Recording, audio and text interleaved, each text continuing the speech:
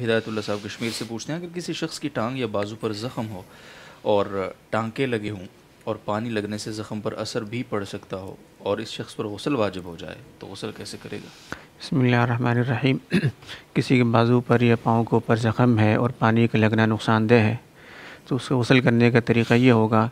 कि उस जगह पर वो कोई प्लास्टिक या इस तरह कोई चीज़ चढ़ा ले ताकि पानी वहाँ तक ना पहुँचे और सारे बदन के ऊपर पानी डाल ले।